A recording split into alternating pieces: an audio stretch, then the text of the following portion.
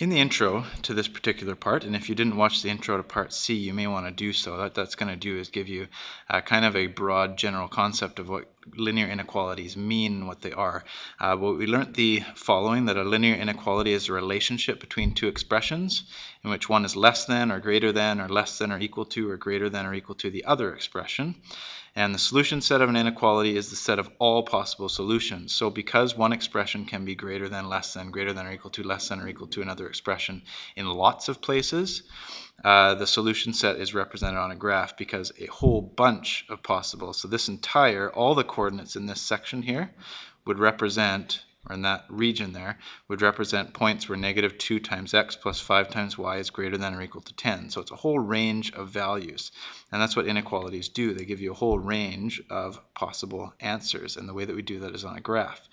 Uh, so what we're going to do here is get practical and do a number of examples to graph linear inequalities. So this first one we are going to determine where is where what points are negative 2 times x plus 5 times y greater than 10 at. And the first thing I want to show you is the solution. Here is the solution. These are all the points up here and in this region where negative 2 times x plus 5 times y is greater than 10. The first thing you want to do to graph linear inequalities to figure out the boundary between where those expressions are greater than or less than. Uh, and what that is, is where the two expressions are equal. So we would like to start, you're going to graph where negative x plus 5y is equal to 10. That will be the boundary line.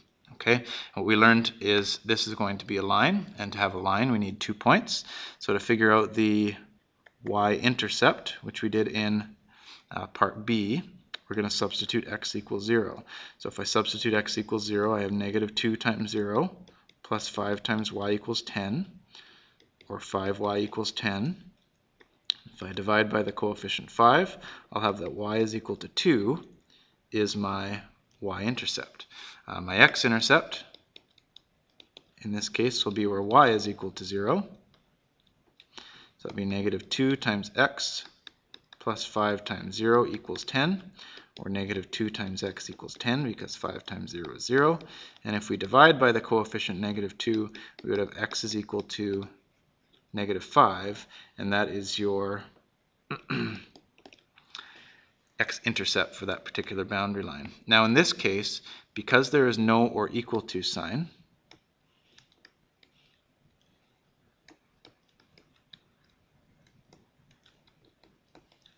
Uh, what that means is that the boundary is not included because it's not included or equal to the boundary. So that means that what we're going to do is make our boundary line dotted which wasn't shown to you uh, in the solution set that I showed you because the software that I have can't dot the boundary line. But this boundary line should be dashed or dotted because it's not included. And the next thing we do is we want to find out which side of this boundary is where negative 2x plus 5y is greater than 10. So you can take any point on either side of the boundary and generally, if it's not on the boundary line, uh, you want to choose the point 0, 0. It's the easiest one to choose. So we are going to test to see if 0, 0 is a solution. So I'm going to substitute 0, 0, so 0 in for x and 0 in for y. We're going to test and ask is negative 2 times 0 plus 5 times 0 greater than 10? Or is 0 plus 0 greater than 10? Is 0 greater than 10? The answer to that is no. So what that means is that this whole side of the boundary line, none of these points would have the relationship where negative 2 times x plus 5 times y is greater than 10. What that means by default is that the other side would have the points that would give you a solution. So all of those points are solutions to the inequality. Or I can show you an example if you'd like. I won't show you that in the future. Uh, let's just take this point for example. This is the point right here, 0 and 4. So if I substitute 0 and 4 into here, so what we're asking ourselves is, is negative 2 times 0 plus 5 times 4 greater than 10? And that's 0 is 0 plus 20 greater than 10. Is 20 greater than 10? Yes. So any point in that region would have negative 2x plus 5y greater than 10. Now in the next question right beside it, you will see it's the exact same inequality. So this inequality highlighted in yellow is exactly the same as this inequality highlighted in yellow. I just want to talk to uh, the difference in the symbols. So the solution set would be exactly the same. So the intercepts would be the same. You would also still have a dotted line. Uh, the only difference here is in the symbology, and most important is what we're seeing here highlighted in blue is that x and y belong to i, and what i represents is integers.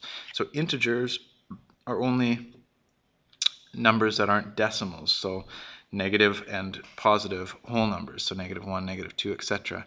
So what that means is in this solution region, which we already figured out how to do, only the integers are solutions. So what you will see is in that solution region, just putting solution dots on all of the points that are integers because the points between those integers are not solutions because they aren't integers. And so you'd put dots everywhere in this solution region uh, as I'm doing, so etc. That's the only difference, uh, has to do with the fact that it's integers. All right, let's do one more and then we'll save the other two for the next lesson. Uh, in this next one, we want to know where is y less than or equal to negative 2x plus 4. So the first thing we want to do is graph the boundary line where is y equal to negative 2x plus 4. So in order to get the y-intercept, we substitute x equals 0 into the relationship. So we'd have y is equal to negative 2 times 0 plus 4, which is y is equal to 0 plus 4, or y is equal to 4. That's your y-intercept, so that's right there. Uh, your next one, to get the x-intercept, we're going to substitute y equals 0. So we'd have 0 is equal to negative 2x plus 4. And we'd algebraically, the opposite of adding 4 is subtracting 4. We'd have negative 4 is equal to negative 2x. And we divide by the coefficient negative 2.